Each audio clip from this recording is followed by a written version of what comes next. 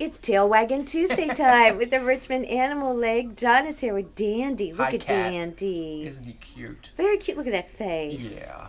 Tell He- me about Dandy. Well, he's a Finnish Spitz. Do you know what that is? No. No, neither do I. But uh, he's cute. very Um, cute. He's a really sweet dog. He's two years old.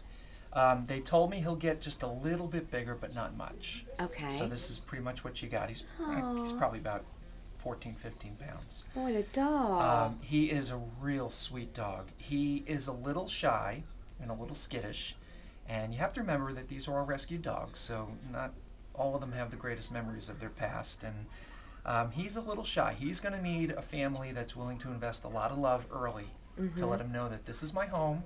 Um, nobody's. I'm not leaving, and nobody's going to hurt me.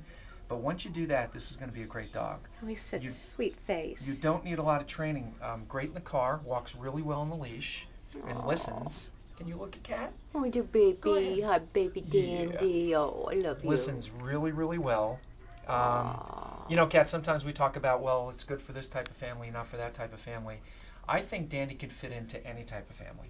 Um, it's docile, he's docile enough if you have small kids. I don't think you have to worry. Um, but he does show some activity where I think if you're an active family, he'll fit right in. And if you're an older couple, I think he'd be a perfect dog to have around the house and keep you company. Let's adopt So, him today. Yeah, let's get him out of here today. Okay. Come to RAL on International Drive, um, across from Chesterfield Town Center and behind Martin's. If you want to window shop, that's cool. Go to www.ral.org, see all our dogs and kitties, and then come down, fill out an application, and get this little boy home. All right. Thank you. Thank you, Dandy. Bye.